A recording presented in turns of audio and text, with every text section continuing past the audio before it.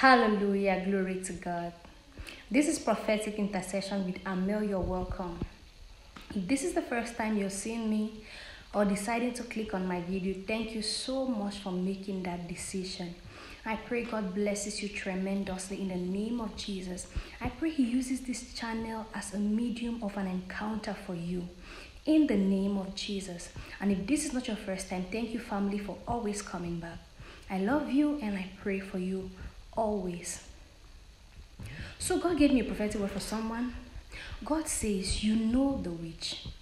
God says, I should tell you, you know the witch. The witch is someone in your household, is someone that is very close to you. You might want to argue that maybe you don't believe in witches and wizards, but the Bible makes it clear that you should suffer not a witch to live, you should curse him to die. That means it's, it's, an, it's an evidence that witches and wizards do exist and they are not there for your good. They are there to cause you pain. They are there to destroy your life. They are there to make sure that you do not advance in life. And God says, I should tell you, you know the witch, you know the person that has been causing you pain. You know the person that has been manipulating your destiny. You know them, but you just don't know they are the ones because they come to you in disguise. They come to you like someone who cares. They come to you like someone who wants to see you prosper. They are so close to you. The reason why they don't miss when they shoot at you is because they are so close. They know your every move. They know what you're going to do next. They know everything you're doing. And so they know what exactly to do when. God says i should tell you that that witch that wizard that is causing you pain, hurt, that is making you or keeping you stagnated is someone you know. So, how do you solve this?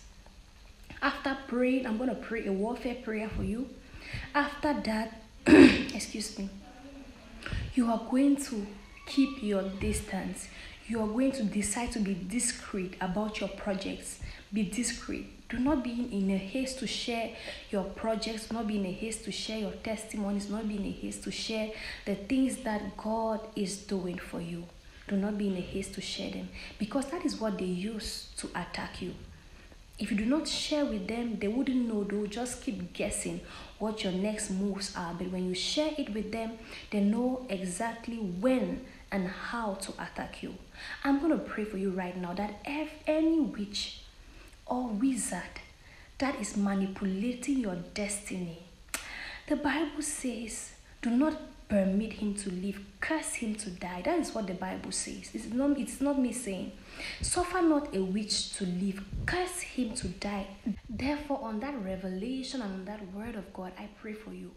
Any witch or wizard causing stagnation in your life, causing you to be moving in circular motion, I curse them today in the name of Jesus.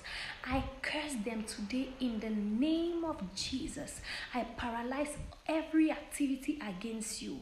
Whatsoever they use to manipulate your destiny, I render it useless in the name of Jesus. I render it useless in the name of Jesus. As you listen to these prayers and connect to them, that manipulative spell over your life by that witch or wizard expires in the name of Jesus. It expires in the name of Jesus. You are set free from their grip. You are set free from their manipulative nature in the mighty name of Jesus. Amen. And now the second step is to be discreet about your activities. You've got to be discreet about the progression you're making in life. You've got to be discreet about the things that God is doing for you. A time is coming. Do not be in a haste to share your testimonies, to share what God is God is doing for you.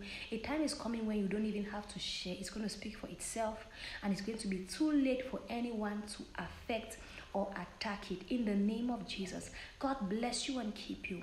May He cause His face to shine upon you. May He be gracious to you and give you peace. In the mighty name of Jesus. Amen. God bless you. Shalom.